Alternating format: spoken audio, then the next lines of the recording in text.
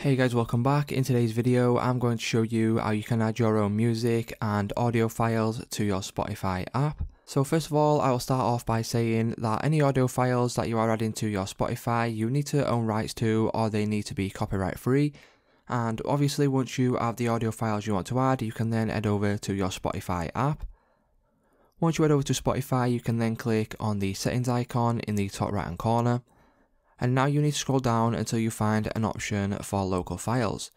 So if you scroll down towards the bottom of the page right here, you will now see an option for local files and underneath this you will see something that says show audio files from this device. If you go ahead and toggle on this option right here, what that will do is it will enable obviously the music that you have on your device, so click on your library and now you'll see an option for a local files playlist.